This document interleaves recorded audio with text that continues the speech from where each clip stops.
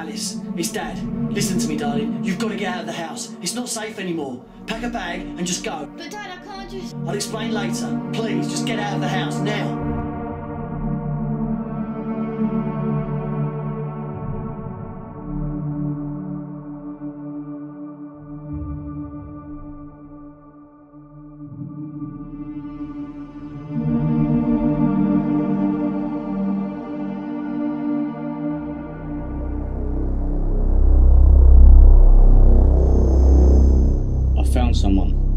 An asset.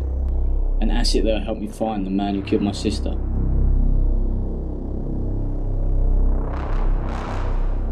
Look, see, it's the same man. It's the same man that kidnapped your daughter.